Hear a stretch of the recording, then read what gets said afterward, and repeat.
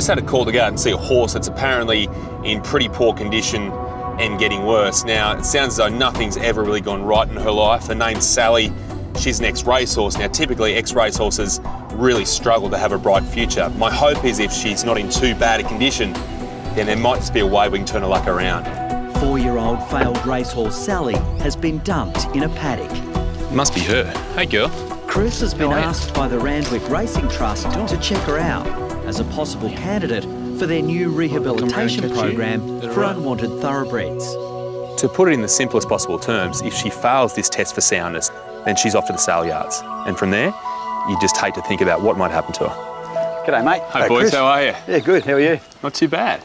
Scott and Shane, who run the There you go. Randwick program, have arrived to hear what the verdict will be for Sally. So she's had three starts for a, a last, a, a second last, and a, a second last. So, yes, that's it's embarrassing. I know, Sally. She's consistent. That up. she is very consistent. I'm going to give you a full check. There you go. She's obviously not in the, in the greatest condition. Just coat's a bit ratty and a little on the skinny side. Look okay. Gum colour's nice and pink. The future's grim for horses that, that, are, that are left without the care that they need. And whether it's a you know, slow decline or whether it's something that has to happen, you know, they have to be taken away and put down, it's neither of them are good options, that's for sure.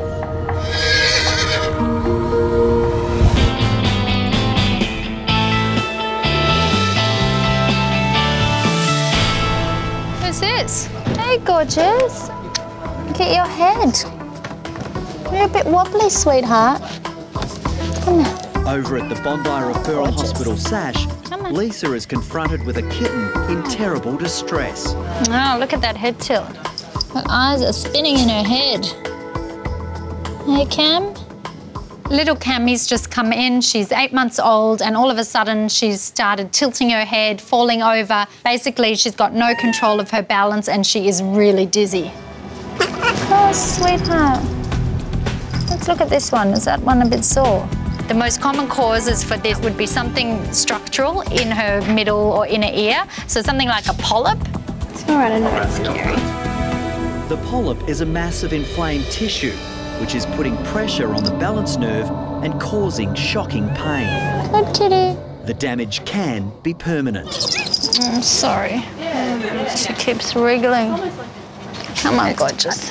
And go see mummy. Oh. Ouch. Okay, okay. Oh, ow, ow, ow, ow, ow, ow. Come on, off me. Come on, gorgeous, come on. I don't like to wrestle cats very often, but this is not being nasty. This is her just being really scared and wanting to hold on to anything that's stable because she's completely unstable in her head. So I'm going to pop her in a nice dark cage and she'll probably feel better. Ouch. Oh, back. Ouch. Needs her nails cut. Waiting to hear the prognosis is Kami's owner, Amanda. I guess where do we go from here? I've tried to look in her ears, but she's quite sensitive. The next step would be to do a CT scan of her whole skull. Yeah. If it is a polyp inside Kami's ear, she will need major head surgery. But there is no guarantee it will be successful. They often get worse Okay. before they get better. It's a bit devastating, to be honest. She's just my little kitten. She's normally very, very in everything and has a great time doing it. So it's just a real shame to see her like this.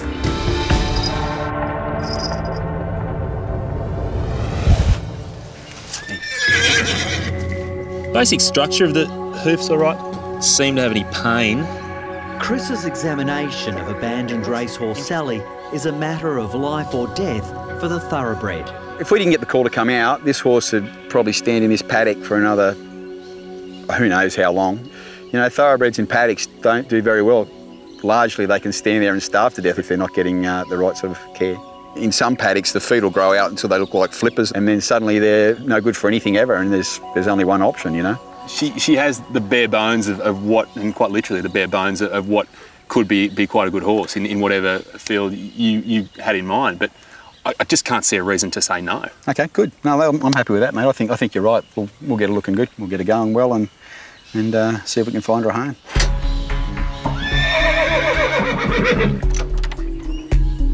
See you in Randwick. Sally's now off to Randwick Racecourse, where her future will be decided. Isn't it funny though? The ears are up. she already looks a hand taller, doesn't she? Absolutely. She's a different horse than she was in the paddock. she is. You remember the track, don't you? There you go. Good girl. I just want to do one more final test just to trot her up and actually see if she's lame on any four of her legs.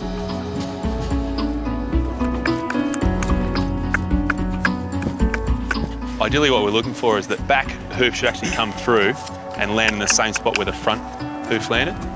If you watch closely, she actually does that. Mate, she's all yours. I think she's going to be a great prospect. Yeah, great. We'll give her a go and see how she turns out. This is the new home, is it? This is Sally's new home, Chris, and this is where the rehabilitation program's based. Yeah.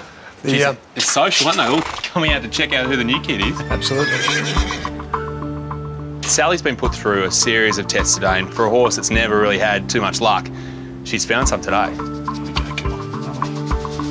Girl, I'm all done. Next time I see you, things might have changed. She's come through them all and passed the ball, and now she's got a new life. Thanks, Thanks very much, Chris. Come back in a couple of weeks, you won't recognise it. Mate, looking forward Thank to it. Thanks very much, Cheers. mate. See you later. You look after the new kid, all right?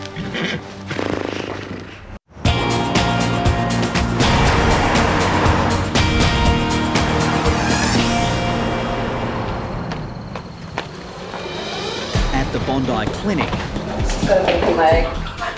vet student Erin is carrying in a boxer who's been hit by a car in peak hour on the Bondi Expressway. What happened, huh? John is the Good Samaritan who's risked his own safety to rescue the hit run victim. Had she run, she would have run into the path of another vehicle, so I stopped. So he's not he's not your dog? Not mine, no. Yours? No. No? All right. Um, thank you for stopping though. That's, That's fine. in that sort of traffic, Yeah. that's, that's a, Yeah. a bold move. While the broken leg is horrific, Chris is more worried the boxer may have suffered a collapsed lung. Right now, she's gasping for air, and that worries me. We're now getting up towards 150, 160 mils, which is a huge amount of air to have leaked out of the lungs into the cavity. So that says that she's probably torn an airway and actually been hit by the car, and that air is now rushing out, almost hissing out into that space. She's got a pneumothorax, so even though she takes deep breaths, she just can't get that air in quickly enough. She's been hit by a car. The boxer's owner, okay. Diana, She's got a broken has been leg. desperately searching for her beloved Just pet. help her out. Molly was chased out of the park by another dog and was too scared to come back. I just ran and ran and screamed.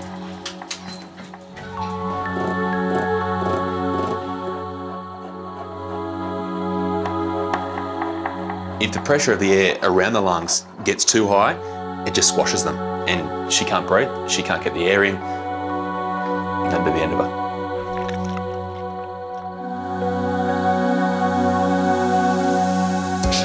Bye bye, Molly.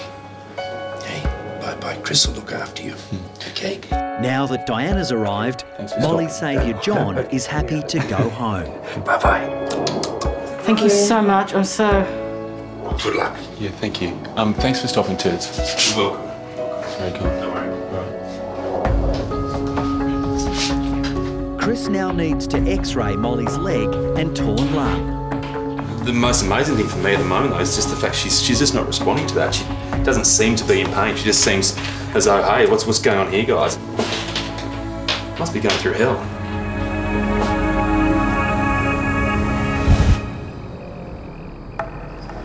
Hey, puppy girl. Good girl.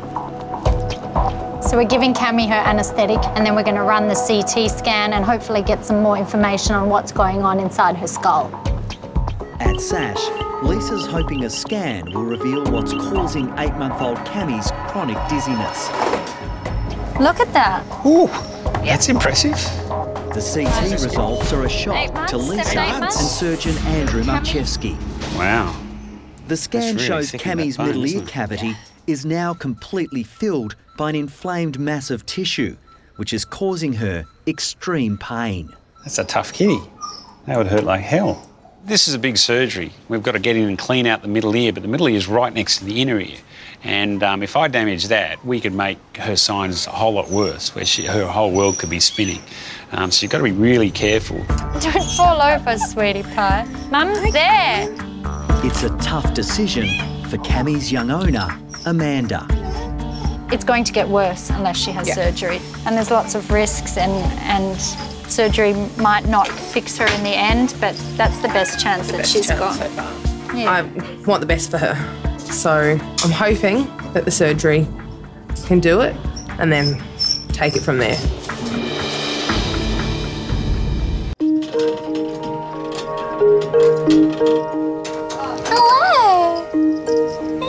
My gorgeous. You having surgery today? Surgery is about to begin on eight month old Kami. A growth in her middle ear is causing the kitten excruciating pain. Good luck, okay?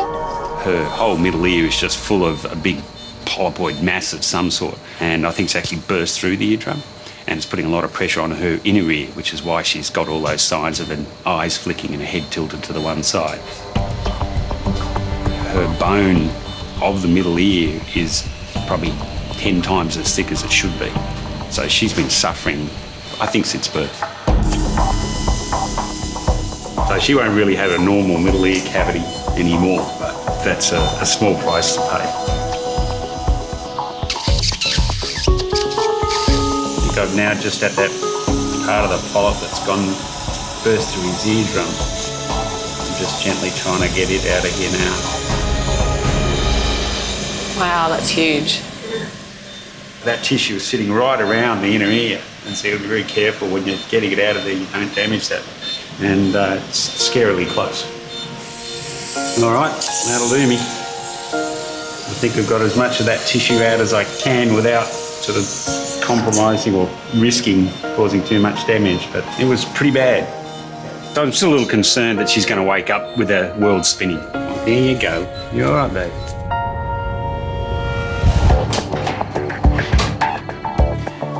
The handy thing from this X-ray is showing that on that left side, which is what we were, we were working on before, there's no black line. So that's where I've actually done my work here. It's this right side where there's still air there. If I can suck that back out, we're a chance here. Two year old Molly was run over and left for dead. The boxer has a badly fractured leg, but her torn lung is the greatest danger. Yeah, we're just getting towards the end of it now. All I was praying for was that I find her. Well, this is a best case scenario in a series of worst case scenarios.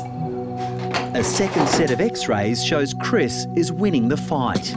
To see her lungs looking like they're, they're fully inflating now or very close to it is, is a, yeah, it's, it's, I mean, it's a sigh of relief and it's, it's probably the way that, that Molly feels right now too. She can actually breathe. This is uh, tibia coming down here. Molly's leg has been broken in two places, but she'll need to stay at the clinic for at least two days until her lungs have stabilised. Let's go home and cry now. Yeah, you've been through a lot. I think my adrenaline's wearing off. Only then will the courageous boxer be transferred to SASH for surgery. Bye, you. All right, I'll see you later.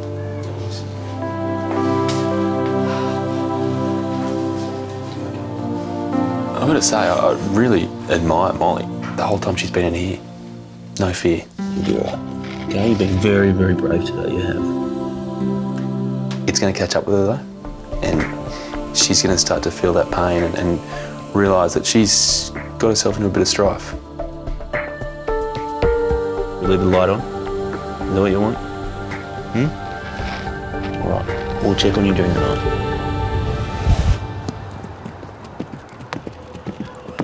Watch yourself there. Over at Randwick, Scott's having some interesting moments with Sally's rehab. Steady, steady, steady. She looks a hell of a lot better than she looked when we picked her up. She's still got a fair way to go, but she's come a long way in the time. Steady. When she first came in here, she had the flared nostrils and the whole, you know, racing attitude going on, and it took her a while to realise that she wasn't going to have to gallop. Steady, steady, steady. Steady. The unwanted thoroughbred will only get a second chance if she can pass this re-education boot camp. Steady. What's up? Steady. Good girl. Definitely worth saving. They're all worth saving, you know. It's great to see that they get the opportunity to, to move on to, to something worthwhile in their lives, you know. I fall for all of them, you know. I, I really love horses, I really, I do. It's bit soppy, but uh, you know they're great animals. They do great things for us, and uh, it's hard not to fall for them. They're beautiful things.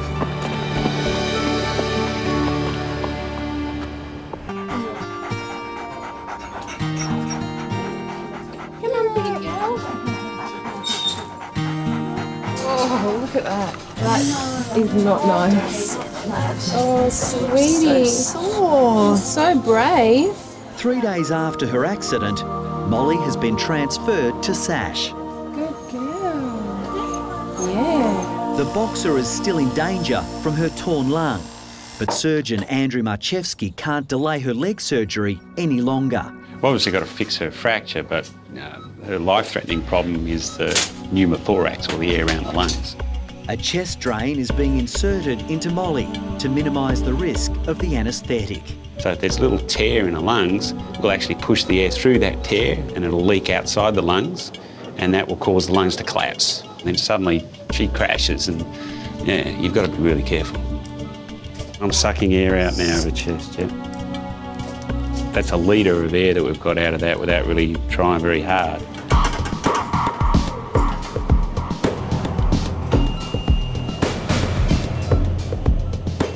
It's a bit like Meccano doing this sort of stuff. A little bit more blood involved, but um, it's essentially Meccano. How's she going now? She's good. She's very stable. No problems with the breathing? No, she's breathing a bit more now. Right, so this is the last screw. But, um, I'm really pleased with how it's come together, to be honest. I think the leg will be 100%. I mean, it's, we've got a, two or three months of healing ahead of us. It's all right. Don't worry about it so much. You can put your tongue in. Go on, have a sleep. You have a sleep. It's all right. I mean, she was trying to walk on this leg when it was flopping all over the place, so I think she'll, she'll run out of here. It's going to be fun keeping quiet. Kami. Baby girl. For eight month old Kami, the world has finally stopped spinning. It looks so good. The delicate surgery to remove an agonising mass from her middle ear has been successful. From what I've heard, she's a lot better than what she was, but I'm just not. Till I see her, I'm not sure whether it's all completely better. Look who's there. Hi, Cam. I think Amanda was in shock. I don't think she expected such a quick recovery. She was prepared for the worst, and when she saw Kami, she was just elated.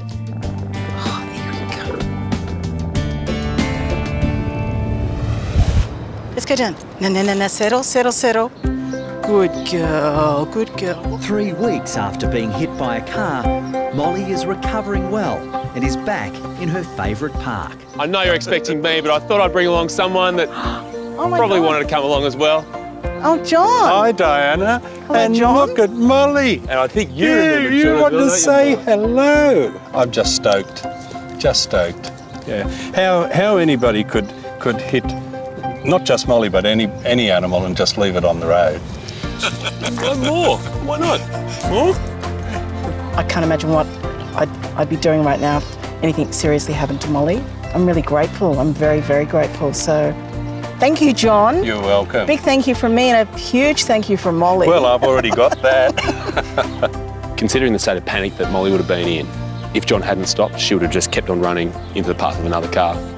She would have been gone. John saved her life. Thank you. Thank you. Thank you. See, is that enough? I'm not going to I'm not going to give you any back though. She wants to repay you with love. okay. Been looking forward to this. Oh, I bet you have. Has there been much change? Mate, it's a massive change. You'll be surprised, I think. This was four year old Sally just five months ago. Oh, wow. Is that her? That's her. Scott's hoping he's found a new home for Sally. She just has to pass one more test. I'll need to sit on her and, and um, see what she feels like and then see her over a jump. If she can impress Kevin, Sally will begin her new life as an eventing horse. Basically, you get a, you get a feel straight away whether you like them or not, um, whether you're comfortable on them. Right now, Sally's jumping for her life. She clears this, She's probably found a new hunt.